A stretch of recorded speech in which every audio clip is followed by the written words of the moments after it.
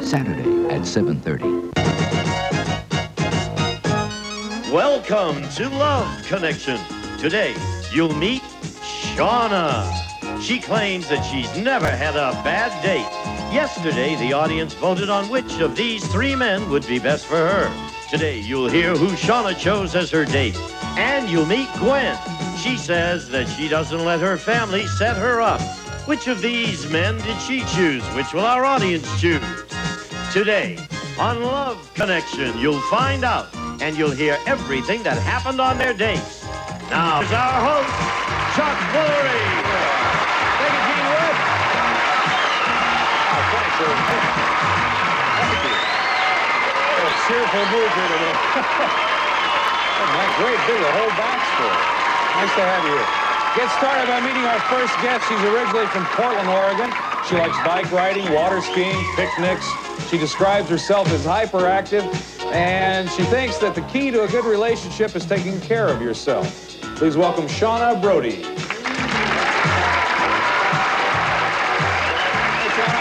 Welcome back. Now, what do you mean by taking care of yourself? Physically fit, that kind of thing? Yes, I think it's very important when you find yourself not dressing up anymore for your boyfriend and not putting on enough makeup and exercising and eating right. That's the time when all of a sudden you find yourself taking each other for granted, watching TV, having popcorn in front of your television, and you become fat and happy. You said you never had a bad date. no. I have a rating schedule that either a date is good, mm-hmm. wonderful, or fantastic. But And- nothing falls under mediocre, bad. Well, I guess most people would call um, everything would it would be more bad, average, and good. But I'm an optimist, so I like to bump everything up. So it's you know if you get if it's You bad, that- then it's just really you do good. that with everything in life? yeah, just about. Okay, all right. Works for you, that's good. All right, let's remind everybody what happened yesterday. Yesterday, our studio audience saw Shauna's three choices, and they voted for one. Gonna take a look at all three men again, catch you up today. First, there's uh, Loris.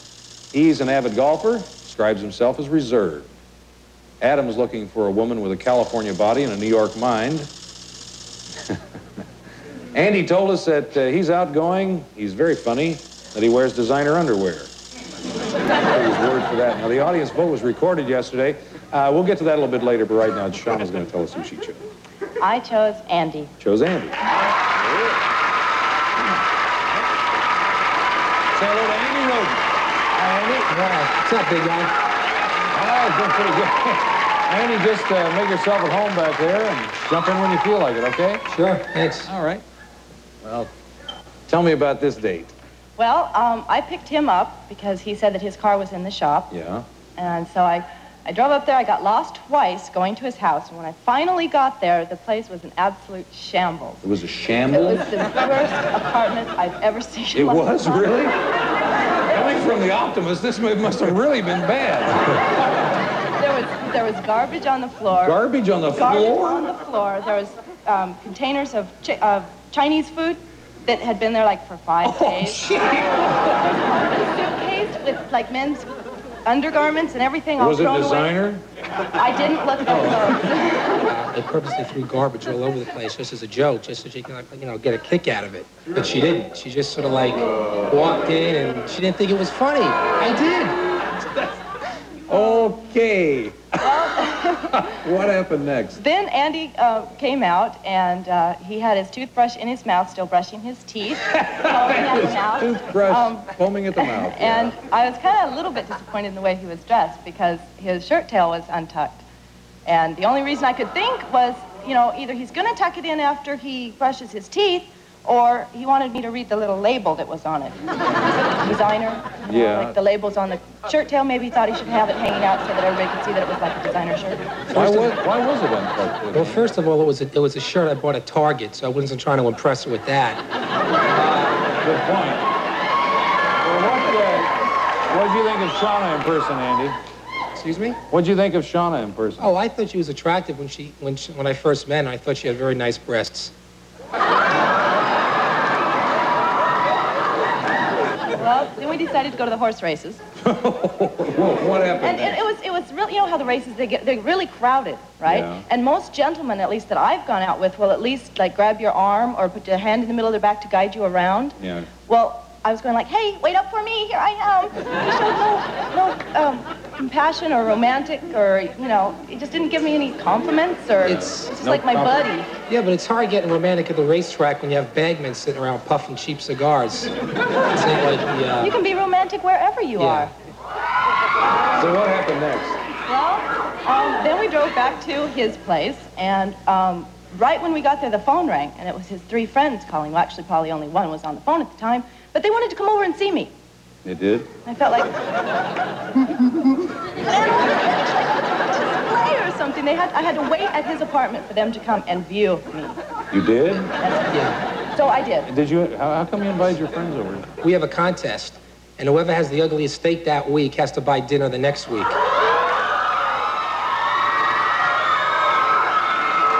I don't, I don't think she'll rank in those, uh, anyway, what happened next?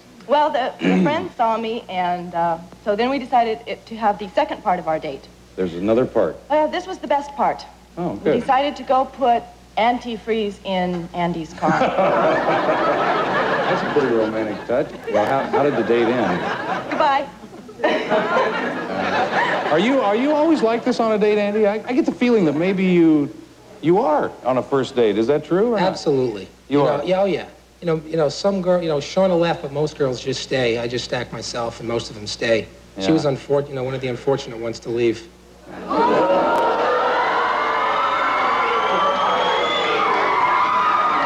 Well, now, see, you're, I gotta ask this. Your rating system is good, great, fantastic, or whatever. Yeah, How would you rate this date? Good, which kind of means bad. Sometimes bad is bad. Yeah. Well, let's take a look and see who the audience picked for you.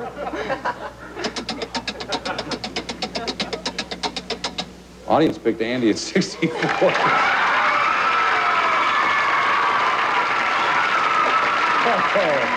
Well, if you would like to take our audience's advice and ask Andy out again, we'll pay for it. If not, you can remain on your own, do what you want to do. Maybe on the second date, he's terrific. You never know.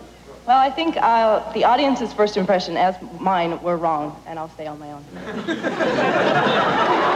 Well, Andy, uh, anything to say in parting? Uh, no, just, you know, thanks for having me on, and if it wasn't for Shauna, my car would have overheated.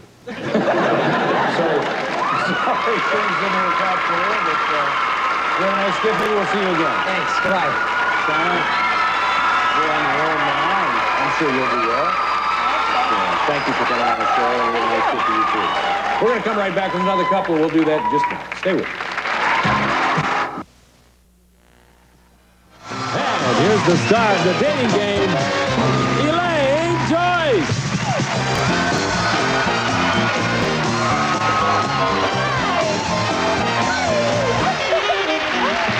Oh, thank you very much, and welcome to the dating game. You know, Flip Wilson once said, you can't expect to hit the jackpot if you don't put a few nickels in the machine. That's kind of like the single scene. You gotta go out there and roll the dice. Just like our first three bachelors. They're ready to take a gamble, so let's meet them right now.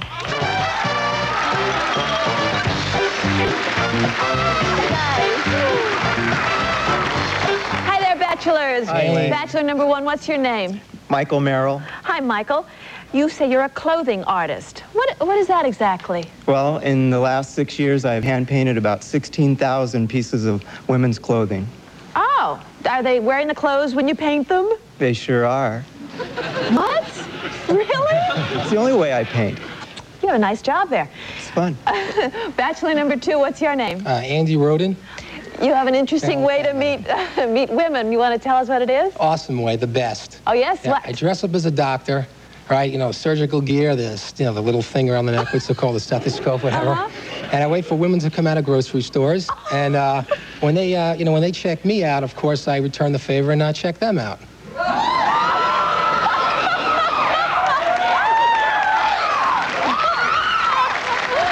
I won't even ask you about your bedside manner. Please don't. Bachelor number three, what's your name? My name's Bruce Blair. Hi, Bruce. And, um, and you're looking for a special type of woman, you say. What is that? I'm looking for the kind of girl that goes crazy about horses and bubble baths. Oh. Well, Bruce, I hope you have a big tub. A real big tub. Good luck, fellas. a big tub. Now it's time to find out something about the woman who gets to choose one of these three guys, and here she is now, April Whitney. You. April, you say you you posed in Playboy as a woman of the airwaves? Yes, I did. As Do you want to tell us about that? Uh, yeah, well, yeah, I guess I'd better, huh? Uh, I'm a disc jockey at a radio station here in Los Angeles, Uh-huh. a rock station, and Playboy wanted to do a pictorial on women DJs. They were going to take a closer look at the person behind the voice, and we're talking close. very, We're very talking close. close, I see. Well, let's see how close our first three bachelors can get to you with their voices, all right? Okay. Bachelor number one, why don't you say hello to April? Hello, April. Kiss, kiss, kiss. And bachelor number two. Love me tender, love me true. Pick me, dear, I'm number two. Okay, bachelor number three, say hello. Hello. That guy stole my line, but I'll do it anyways. well, hell, hell. April, hello. I'm the one for you to make your dreams come true. They, I guess he didn't steal his line. Why don't you sit down here? I'm sure you have your questions and you're all set. I'm ready. All right, let's go. Okay, bachelor number one. How you doing? Fine, April. Uh, I'm a disc jockey, like we said, at a major Los Angeles rock station. I can't say the call letters, so.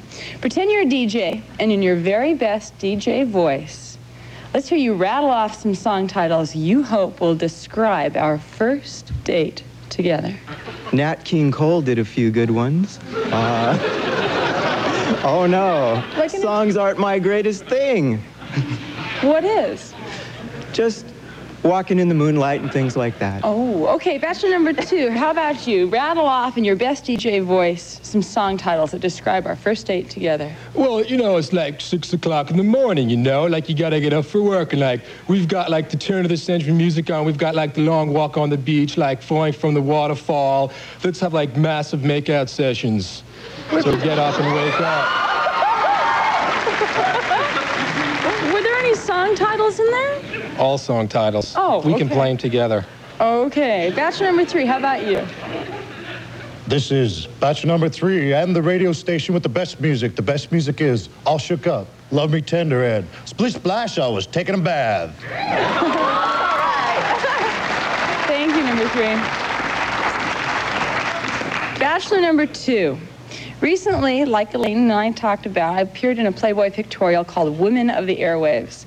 Look at Bachelor number three and tell me if he were to appear in a pictorial, what would its name be?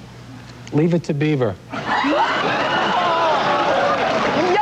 that the same guy that sang Love Me Tender? Yeah. Oh. Bachelor number two, that's the guy. Okay, number one, your turn. What about Bachelor number two? Oh,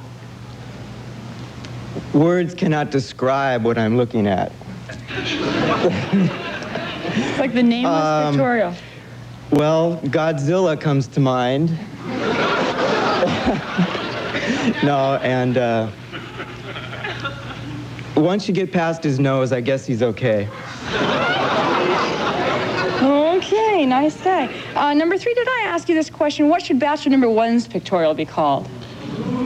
A bandit stepchild, because if I had a brother look like him, I'd ask my parents to adopt him.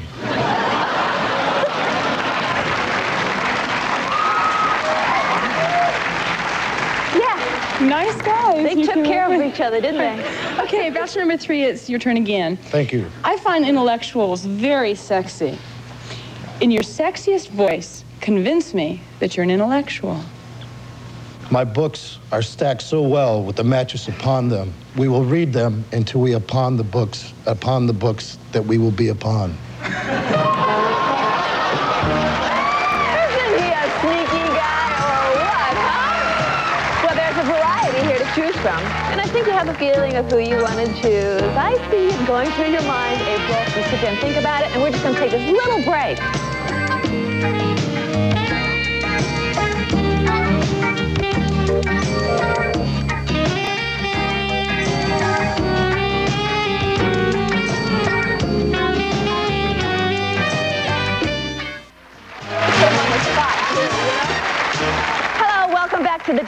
And now, April, this is the moment of truth. This is when you take one of our bachelors.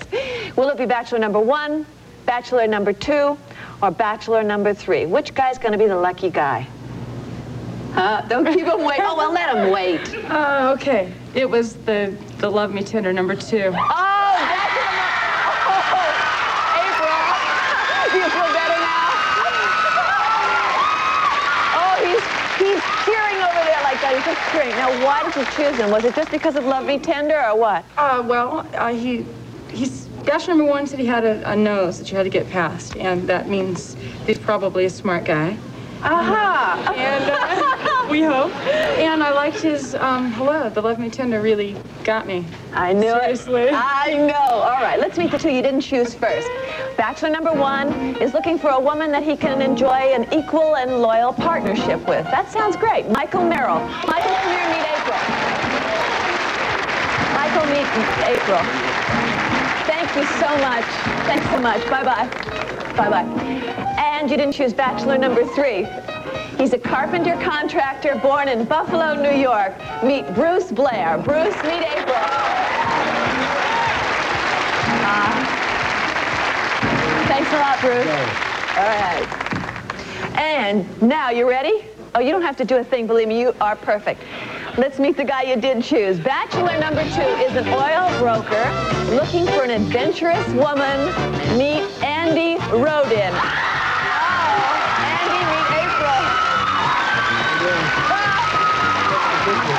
Perfect. Perfect. I don't even have to say anything because this is telling the story. Want to hear about your date? Yes. Please, very much. No, actually, no. No, you don't. This is, see how this is what you call instant chemistry? I love it. Ah, okay. Look at this. Is this great or what? don't worry, nobody's looking. Oh, no. Here's your date. Get ready to float through islands of fantasy on your dream day to the gorgeous golden shores of Tahiti. That's right, April and Andy. You'll jet from Los Angeles to Papeete for a captivating cruise around Tahiti and her enchanting islands. It's truly an exotic adventure where every port of call will entice you with tantalizing tropical delights. You'll drop anchor in beautiful Bora Bora, where you can splash in sapphire seas teeming with rainbows of friendly fish. Sail on to Huahine, a gardenia-scented isle where you can wind your way through verdant jungles that hide ancient temples and petroglyphs. Then explore the romantic trails of Moorea, where sheer volcanic mountains plunge into breathtaking bays of crystal blue. You and your dating game chaperone will spend eight spectacular days aboard American Hawaii Cruises SS Liberté. Tour the French Polynesian Islands by day, dine and dance the evening hours away to glittering entertainment aboard Tahiti's magnificent floating resort, furnished by American Hawaii Cruises. It's a magical world of stunning sunsets and shores of sugar soft sand. No matter where you wander, you'll always find yourself in paradise on your dream day to warm and wonderful Tahiti.